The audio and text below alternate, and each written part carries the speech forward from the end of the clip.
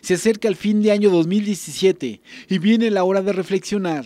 Pues más que nada proponernos a, ser mejores, a cambiar, sobre todo en el ámbito familiar, eh, que exista siempre un calor, un calor humano, un calor familiar y que nos preocupemos más por el bienestar de nuestra familia. Ha pasado el tiempo de la fecha de regalos, pero se acerca el momento de iniciar otro año.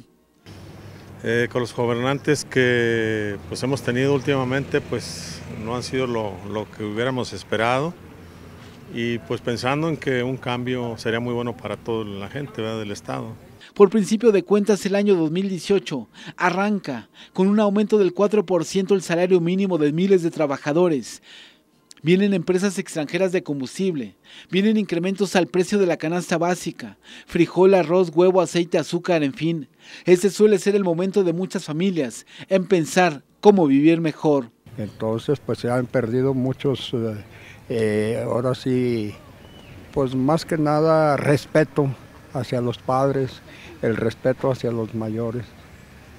Como dicen, cada cabeza tiene un propósito y una meta para el año entrante, con la idea de cambiar algunos aspectos donde hubo errores y saber reconocerlos como seres humanos. Con imágenes de Betty Torres para Informativo, Jesús Peralta Medina.